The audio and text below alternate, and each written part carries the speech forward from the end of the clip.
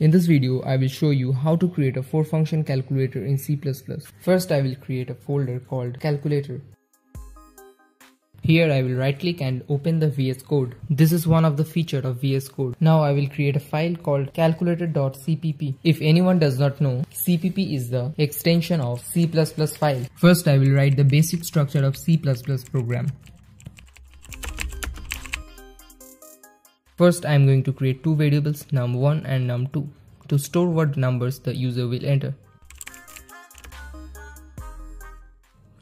and I will create another variable op which is the short form of operator. Now I am going to take input from the user so I print enter first number and store the first number in the variable num1.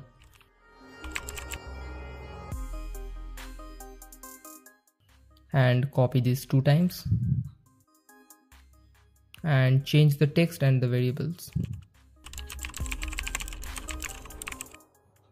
Now I will create another variable result which basically store the result of the calculation. So the first thing I'm going to do is just check to see if the operator is equal to a plus sign. Then we're just going to print out the result of adding the two numbers together. So now let's do a else if to check whether it's equal to minus or not. I will check again whether the operators is division or multiplication.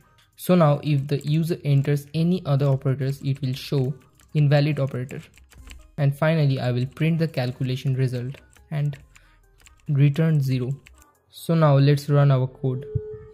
Let's say I add 20 plus 30 so its result should be 50 as you can see it's work. Our code is working properly. I will give you the full code in the description.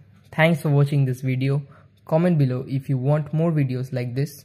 And don't forget to subscribe to my channel